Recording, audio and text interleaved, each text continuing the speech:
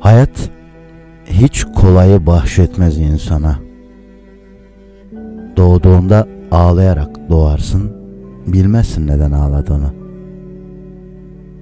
Zordur yaşam mücadelesi vermek diyedir belki de ağlamak. Ağlamak, annenin sütüyle doyarsın, sevgisiyle sarmalanırsın. Ya hiç anne sütü içmemiş, anne sevgisiyle sarılmamışsa, sevgiye açsa, düşünmesi bile zordur usta. Kolay değildir hayat. Hani genç olursun ya, sanırsın dünyayı toz pembe görürsün ya. Meğer dünya griymiş. Anlarsın yaş 35'e geldiğinde.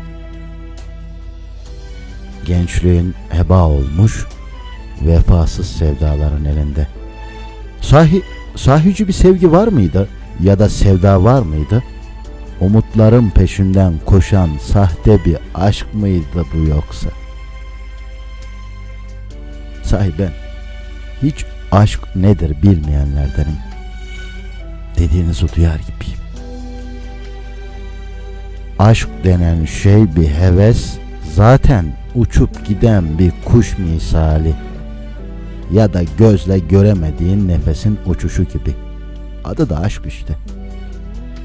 Yaşamın başından sonuna kadar annenin sütü arayışıyla sevgisinin açlığıyla yaşanılan şeyin adıdır aşk. Sevgi sarmalandığında yaşanılan her şeyin adı aşk işte. Bir çiçeği, bir kelebeği ben aşkla severim. Çiçeğin ömrünü bir mevsim. Kelebeğinse dokuz gündür. Çiçek sular, kelebek ölür aşk.